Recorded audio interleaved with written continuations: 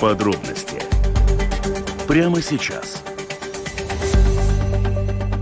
Говорим о ситуации с безопасностью на Запорожской атомной электростанции. Европа обеспокоена тем, что там происходит, э, поскольку атомная электростанция э, и полностью отключалась от энергосети украинской. Э, сегодня очень важно, делегация МАГАТЭ отправилась из Киева на Запорожскую атомную электростанцию, но вот по последним, по последним данным специалисты МАГАТЭ стоят в очереди на КПП на подконтрольной украинским властям территории, поскольку э, оккупационные власти Запорожья отказались делать спецпропуска. Но планируется, что завтра они э, прибудут на территорию э, атомной электростанции. Но вообще о том, э, какова сейчас там ситуация и насколько велики риски, э, некоторое время назад ведь и президент Украины Владимир Зеленский заявил о том, что украинские специалисты, по сути, предотвратили ядерную катастрофу в Европе.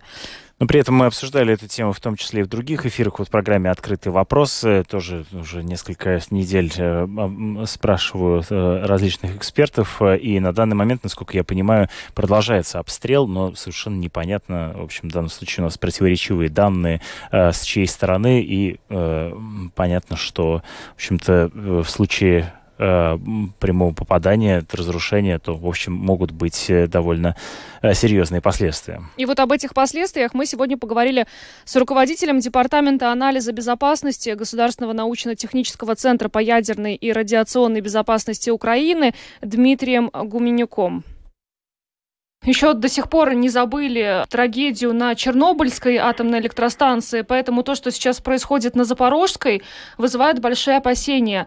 Скажите, пожалуйста, вот вы как специалист, какие риски на сегодняшний день там видите, учитывая, что и Запорожская атомная электростанция отключалась от энергосети? Как бы вы сегодня характеризовали эту ситуацию? Риски на Запорожской станции появились еще 4 марта 2022 года, когда российские оккупационные войска зашли туда и продемонстрировали полное отсутствие понимания в части ядерной радиационной безопасности. Ну, наверное, вы с хронологией знакомы, ну, не буду в детали входить, что, ну, просто скажу, что прямо при, в, тот же, в ту же ночь были обстреляны ряд зданий, были боевые действия непосредственно на площадке Запорожской станции. Повреждены не критические, но все равно здания непосредственно недалеко от блоков. И это был такой первый Э, очень тревожный колокольчик, который говорил о том, что добром эта ситуация не закончится. Дальше на протяжении практически полугода э, ситуация была э, очень тяжелой, потому что был психологический, физический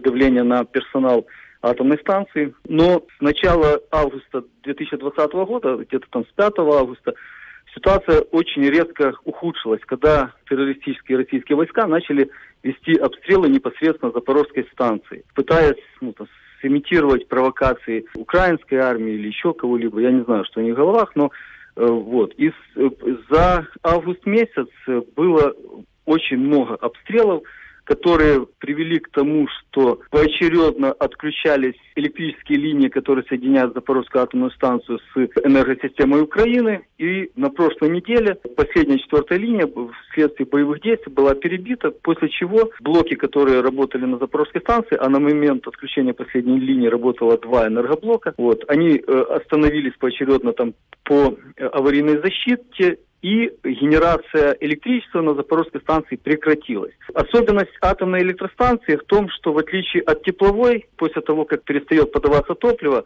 там газ или уголь, тепловая станция, она безопасно может сколько до, долго стоять в выключенном состоянии. Э, атомная станция, в отличие от тепловых станций, нуждается в долгосрочном теплоотводе, чтобы избежать тяжелого повреждения активной зоны, расплавления, как это было в Чернобыле или на Фукусиме. После того, как произошло отключение Запорожской атомной электростанции от украинской э, энергосистемы, сработали э, штатно, слава богу, системы безопасности, которые необходимы для безопасного останова, для безопасного расхолаживания энергоблока, сработали дизеля, и какое какое-то время, пока не восстановили резервную линию, опять же, соединяющую атомную станцию с энергосистемой Украины, э, пока не запитали станцию, системы безопасности и дизеля работают. По состоянию на сейчас Запорожская атомная станция подключена к энергосистеме Украины. Э, на Запорожской атомной станции работают энергоблоки, которые в том числе и генерируют э, электричество и отдают его в энергосистему Украины. Но та обстановка, которая и развитие ситуации, которая сейчас имеет место на Запорожской атомной станции, ее нельзя назвать безопасной и нельзя сказать, что это стабильная ситуация. Любые военные действия на территории атомной станции, они недопустимы, потому что все прекрасно помнят, что произошло на Чернобыле, многие э, знают, что произошло на Фукусиме. На Запорожской атомной станции эксплуатируется шесть энергоблоков. И авария даже на одном энергоблоке, ну, которая там, потенциально может привести к расплавлению активной зоны, она приведет к тому, что загрязнение будет не только украинской территории, но и европейской. Такое короткое резюме, что происходит на Запорожской станции, перспективы того, что э, может быть, ну, сложно спрогнозировать, потому что э, ни Украина, ни весь мир не имеет никакого влияния на те э, вооруженные формирования, которые находятся на территории Запорожской станции, э, те, ну, я не знаю, по-другому нельзя назвать, как ядерные террористы, которые, э, захватив ядерный объект, терроризируют весь мир, давят психологически на персонал – Э, в последнее время начались э, физические воздействия на персонал, людей там выкрадают, забирают в подвалы, пытки, и это не приводит к э, повышению надежности работы атомной станции. И в принципе вот этих полгода, которые станция находится в оккупации, то, что не произошло какой-либо аварии с выбросом радиоактивных веществ, это целиком и полностью заслуга украинского персонала, который в тех, э, тех очень тяжелых условиях э, поддерживает энергоблок в безопасном состоянии. Уже отключение Запорожской атомной электростанции от энергосети было. Э, сколько еще э, вот таких отключений Запорожская атомная электростанция теоретически может пережить? Ну, здесь сложно сказать. Все зависит от э, времени, насколько происходит это отключение, от текущей обстановки на энергоблоке, от того, как сработали системы безопасности.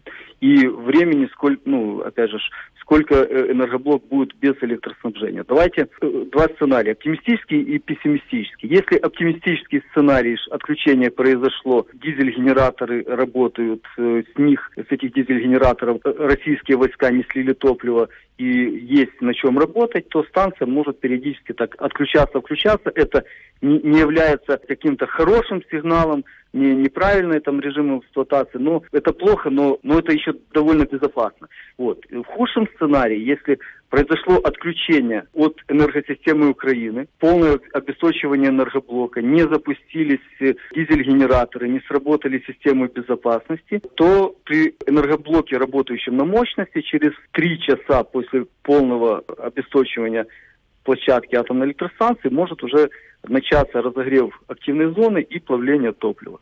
То есть сценарии могут быть очень пессимистические, то есть в случае дополнительных отказов, и, и это не принимая во внимание э, какие-то возможные физические разрушения э, инфраструктуры э, энергоблока, потому что если там прилетит ракета, разрушит защитную оболочку, Соответственно, любой выброс э, радиации в случае аварии, он будет происходить в окружающую среду. Его не будет удерживать никакие дополнительно защитные э, строения. А насколько этот пессимистичный сценарий, который вы описали, ну, на ваш взгляд, сейчас действительно вероятен? Очень сложно сказать об этом, потому что э, что э, происходит, какая текущая обстановка на энергоблоке, э, на, на площадке, есть эта информация только у российских оккупационных войск. Э, то, что у них в головах тоже э, только у, у них. Если кто-то, э, это стадо с оружием, примет решение преднамеренно вывести из строя то или иное оборудование, то вероятность очень высокая. Если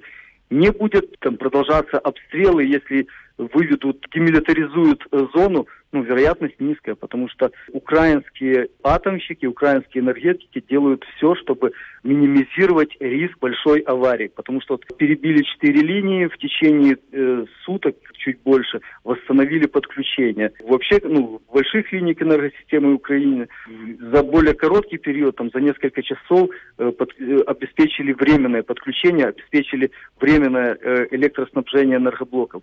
То есть, в принципе, пока есть у украинских энергетиков и атомщиков возможность управлять э, ситуацией, э, риски ну, э, пытаются наши герои минимизировать. Но э, все зависит от поведения оккупантов. На днях украинский энергоатом смоделировал распространение радиоактивного облака в случае аварии на 28-29 августа с учетом э, изменения направления ветра. Но вообще, учитывая, что Запорожская атомная электростанция крупнейшая в Европе, конечно, очень не хочется об этом думать, но вот в случае аварии это радиоактивное облако, насколько оно далеко может распространиться? Все зависит от того, какая авария будет. Это на одном энергоблоке, двум, шести, Э, затронет ли бассейны выдержки, может быть, это затронет еще хранилище отработанного ядерного топлива, которое также расположено на э, площадке Запорожской станции. Но тот сценарий, который рассматривал НЭК «Энергоатом», это авария на одном энергоблоке. То даже для этого сценария